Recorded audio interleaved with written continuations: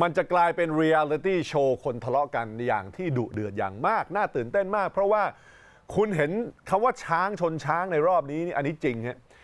คริสคริสตี้ผู้ว่ารัฐนิวเจอร์ซีย์ฝีปากนี่คือไม่กลัวใครฮะคริสคริสตี้นี่แรงมาก เวลาด่าคนนี่ใช้คำหยาบด่าสื่อแรง คือคุณอาจจะไม่เคยได้เห็นนักการเมืองสไตล์แบบที่พร้อมด่าทั้งสื่อ ด่าทั้งนักการเมืองด้วยกันใช้วาจาหยาบคายนะฮะ เป็นอะไรเป็นบูลลี่ เป็นอันธพาลเนี่ยคริสคริสตี้เนี่ยเขาเป็นอย่างนั้นฮะแล้วเขาเขาเชื่อว่าสไตล์แบบนี้มันมันเป็นสไตล์ที่มีเสน่ห์สำหรับคนอเมริกันทั่วไปที่